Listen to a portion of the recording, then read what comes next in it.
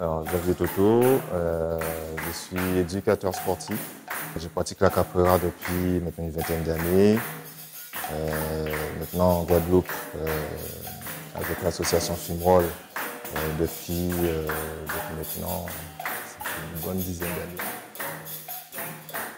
C'est une danse de combat afro-brésilienne qui s'est développée donc, sur les, terres brésiliennes puis l'esclavagisme. Et donc au fil des années, donc, elle, a, pu euh, évoluer et être ce qu'elle est maintenant.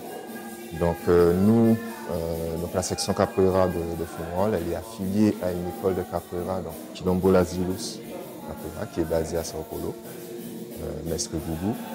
D'ailleurs, on a fait notre deuxième événement euh, en mai dernier. Dans les partenaires, on avait la ville de Saint-Claude.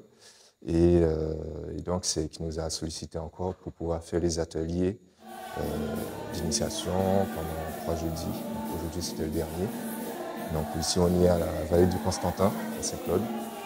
Et euh, c'était une initiation. C'était quand même un petit peu, euh, je dirais, plus un cours, puisqu'il y a une continuité avec ceux qui étaient présents depuis le premier. Pour moi, l'objectif des pratiquants, c'était vraiment de pouvoir s'amuser, euh, faire une activité musicale, une activité sportive accompagnée par la musique et dans laquelle ils verraient qu'ils euh, sont capables de faire beaucoup de choses qui sont loin d'imaginer.